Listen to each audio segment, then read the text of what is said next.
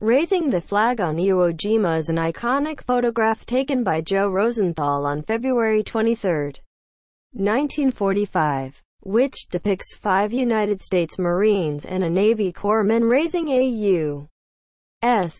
flag atop Mount Suribachi during the Battle of Iwo Jima in World War II.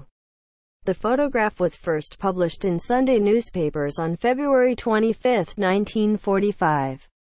It was extremely popular and was reprinted in thousands of publications.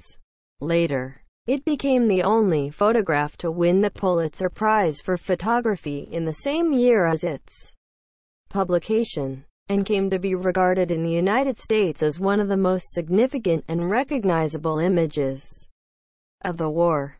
Three Marines in the photograph. Sergeant Michael Strank, Corporal Harlon Block misidentified as Sergeant Hank Hansen until January 1947, and Private First Class Franklin Sousley were killed in action over the next few days.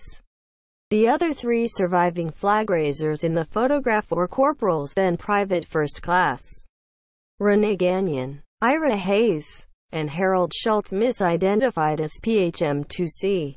John Bradley until June 2016. Both men originally misidentified as flag raisers had helped raise a smaller flag about 90 minutes earlier, and were both still on the mountaintop and witnessed, but were not part of the specific moment of raising the larger flag that was captured in the Pulitzer Prize-winning photo. All men were under the command of Brigadier General Harry B.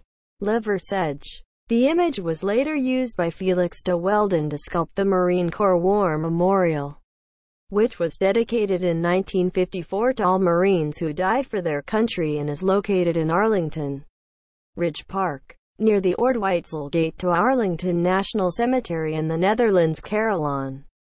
The copyright holder, the Associated Press, relinquished its rights to the photograph, placing it in the public domain.